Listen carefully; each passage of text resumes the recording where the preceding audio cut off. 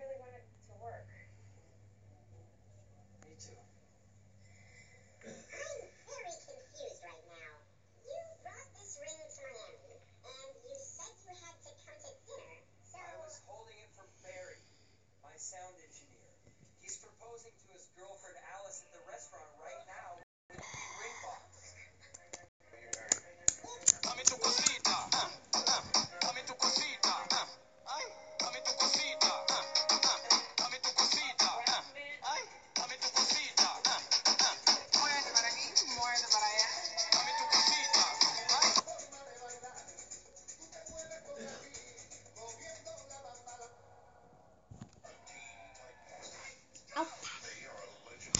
Hey guys, we're watching Today's word Out. Did you come here to listen to talk about juvenile topics and tell bad puns? Well, you're in luck. what? You didn't? Aw, that really pisses me off. You all read the title. You know what this video is going to be about. Peeing yourself. James is running out of ideas! In my life, I've had so many close calls with not making it to the toilet. Oh, I'm surprised I haven't pooped my pants more often. One time when I was in college, I was walking home from campus and I sort of had that I'm feeling that I needed to go. I thought I could make it back to my dorm, but then when I was walking back, I, I just couldn't hold it. So I started just booking it back home. Apparently, running makes it so you poop faster, though. But I burst through the front door and I just went straight for the bathrooms, and it was close.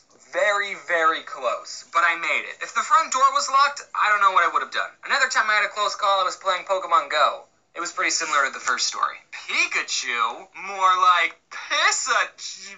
Never mind. I don't have a clean record. There's been times when I was a kid and I soiled my britches. Before I tell you stories about my childhood, I just wanted to say that according to my mom, I was potty trained very easily. Now I have no memory of this, but apparently every time me and my twin sister went to the bathroom in the toilet, we got M&Ms. And my twin sister, bless her soul, was having some trouble learning how to do it. So instead, I just shared my M&Ms with her and everyone was happy. Except it's been 20 years and she's still not potty trained. I'm still giving her M&Ms to this day. I've had a couple of accidents happen when I was in elementary school, but only like two times though. I promise. The first time I peed my pants in class, I was in the first grade. My first grade teacher was just a humongous bit, just a humongous person. Literally, she was pregnant. For the first nine months of my first grade career, I had to deal with this pregnant person, and even as a little tiny six year old, I hated her. Now I'll give her the benefit of the doubt and say that we are probably ornery little six year olds, but I wouldn't expect six year olds to be well behaved. So why would you get a pregnant person who feels sick all the time to be our teacher? Was it because she couldn't afford maternity leave? One day she threw up in a trash can right in front of us, and we all just sat there not really doing or saying anything. I made a video about this a long time ago, but one time my twin sister got injured on a trampoline and she had to be in a wheelchair for a couple of months. That Yeah. Happened while we were in first grade.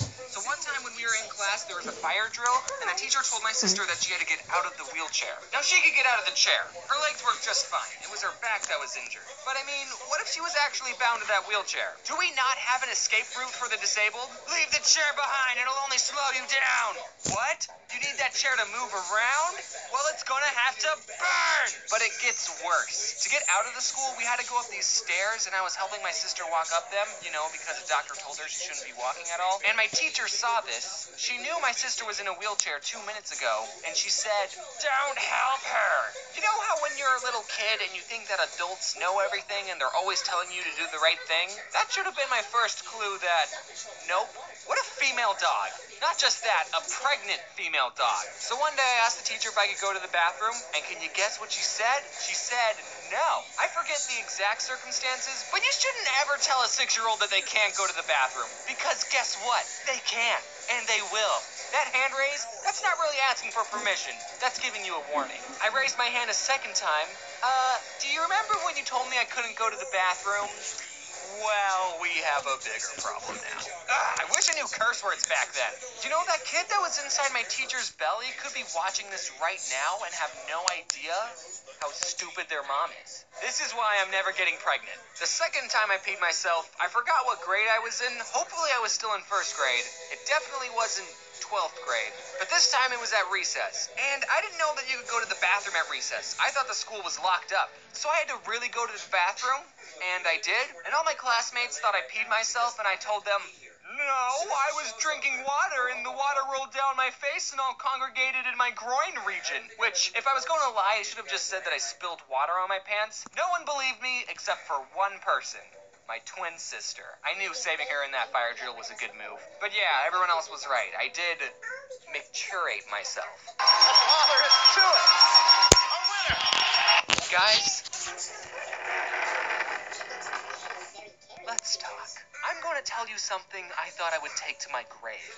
So if we ever meet each other in real life, you're not allowed to make fun of me for this. I, James, was a bedwetter until I was eight years old. I was good going to the toilet when I was conscious, but being unconscious, I, Still. I was A uncontrollable. bedwetter, If we're mommy. counting the total times in my life that I've had an accident, then there's too many to count. There were many days when I'd wake up to wet bed sheets, then I'd have to change my sleeping position and try and get some more sleep. The worst part about wetting the bed is that you have no control over it. You were gambling every time you went to sleep. There were some things I would try to help me not wet myself.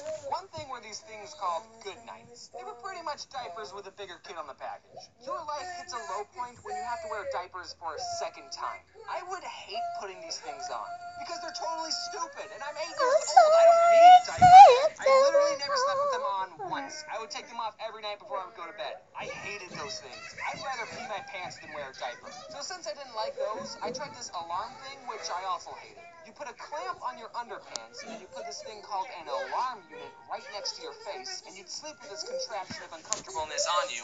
And if you started to pee, that would trigger the alarm, which would blast a loud noise in your face, and that was supposed to wake you up like, "Hey, you're peeing!" Problem was that every time the alarm went off, I was too tired to remember what was going on. So I would just think, "What the heck? I need to get this loud noise away from me." And I would just rip off the alarm and throw it away and go back to sleep without realizing what I was doing. Sort of like what I do now with the real alarm. Then I go back to bed, wake up in the morning, and realize, oh, that's why the alarm went off. Then later, I got some pills from some doctor.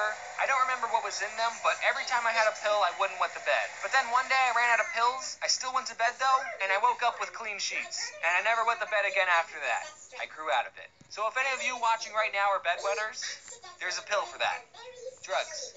Solves all your problems, baby. I know this video has a weird subject matter, but let's be realistic. It's a part of life. Everyone poops or pees their pants at some point. And if you haven't, well, that just means you have something to look forward